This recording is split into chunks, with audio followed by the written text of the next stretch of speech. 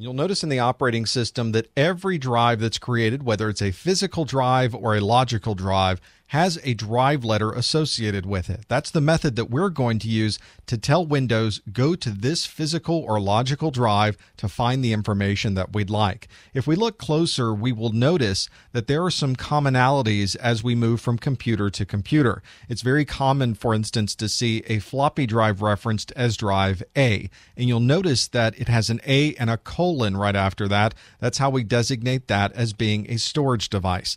Primary hard drives are very commonly called drive C. You'll see a C colon for those, and occasionally you'll see a DVD ROM drive or a CD ROM drive on a device, and it's usually called drive D.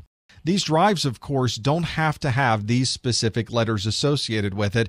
You can have drive D, E, and F as physical hard drives or SSDs in a computer. A CD ROM could be on drive H. It just depends on the computer configuration you happen to be working with at that time. Underneath each volume is a set of storage folders. There's a hierarchy of folders that you'll find underneath that. This is an example of it on this computer. I have a Drive C. Within Drive C is a Documents and Settings folder, a Program Files folder, a Recycler folder, a System Volume Information, and Windows. And notice that there are additional folders underneath that folder as well. Let's see what this looks like in a Windows operating system. If I right mouse click the Start menu and choose Explore, it launches the Windows Explorer. And from here, I can see every storage device and every folder that might be in that storage device. I can see, for instance, there is a My Computer and there is a local disk, a C colon underneath that has a Documents and Settings folder, Underneath the Documents and Settings folder is an All Users folder. Underneath the All Users folder is an Application Data folder, and etc. and etc. And within these folders, there might be files that are located. This hierarchy is built so that we can arrange and organize things the way we'd like within the operating system itself. So if we build some spreadsheets and some presentations for a project, we can create a folder just for that project and keep all of those files inside of that. Alternatively, we might want to create a folder for every spreadsheet spreadsheet that we might own or every document that we might create in a word processor. And by organizing it this way, it's very similar to how you would think about organizing things in real folders. We're simply doing it inside the operating system itself if we think about this real world aspect of organizing our files in the Windows operating system, you can think about folders this way in the Windows operating system on our computer storage device, we can have many folders inside of that, and those folders can contain files, just like you would take actual pieces of paper and put them into a folder in the real world.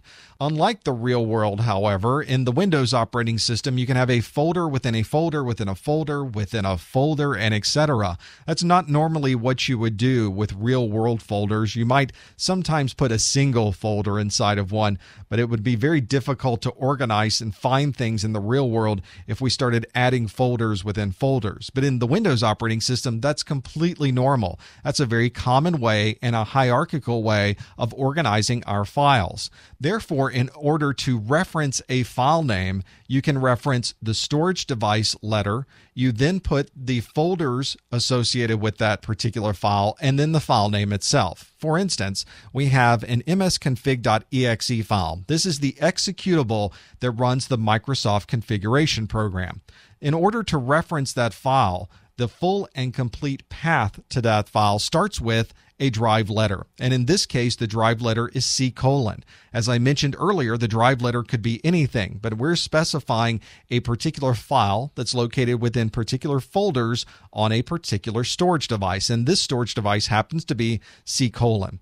We then specify what folders this might be located in, starting at the very top of the tree and working our way down. So right off the root of C colon is a folder called program files. And the way that we separate the names of these folders is we put a backslash just prior to the folder name. So C colon backslash program files means that it is the program files folder that is just under that C colon storage device. Now there is a folder within the program files directory called system32. So again, we put a backslash and write system32. Within the System32 folder, there is a file called msconfig.exe. So we separate that again with a backslash and finally put the file name. So that's a full path. That is exactly where you would identify the location for the msconfig.exe by writing c colon backslash program files backslash system32 backslash msconfig.exe.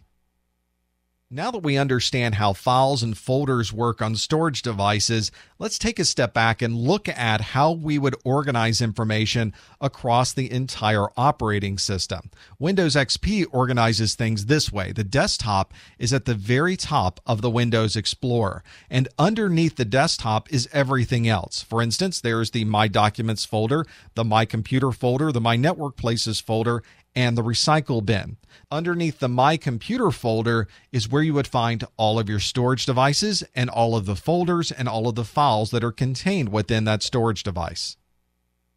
Let's look around at a Windows XP configuration in real time. I'm going to go to my desktop start menu, right mouse click, and choose Explore, and it brings up the Windows Explorer. Let me make this a little bit smaller so we can start at the top with a summary view where we have our desktop. We have my documents, my computer, my network places, recycle bin. Notice under my computer that we have two devices a local disk. This is our local storage device, and it's designated with a drive C. You see the C colon right next to that. We also have a DVD or a CD drive on this device that is designated as drive D. And again, this could be any drive letter, but you can see we're following a lot of the standards you'll see on almost any computer. If we click the plus sign next to local disk C, you'll see all of the folders at the top level of that drive. If I go to, for instance, documents and settings, we drill down even further. So here's a my computer local disk C colon. There's documents and settings. There's a professor folder that has my information inside of it. I can go to my documents and go under my pictures and even go further inside of that and look at other things as well. But notice how we've collapsed this to have an organization of this hierarchical structure. We have a folder within a folder within a folder, and inside that are some files. So you have to be very specific when you're mentioning where a file might be located and give the full path name, the drive letter, all of those hierarchical folders separated with the backslash all the way down to the file name that you're referencing. The structure in Windows 7 and Windows Vista is a little bit different than Windows XP. In those operating systems, it was changed just a little bit to focus more on the organization of the files that you have in that operating system. If you look closely, we still have a desktop at the very top of this, but we also break down things into libraries, and we also finally have the computer down here at the bottom for the local disk. So we have a series of different areas where we can store information. We have libraries, a user folder. This is the Rodney user who's logged onto this machine. There is a computer system folder, a network system folder, the control panel, and the recycle bin. And if you're somebody who uses Windows a lot, these are usually the places where you will want to either find information or store information on your system. So it makes sense to have easy access to the computer, easy access to devices that may be located across the network, and so on.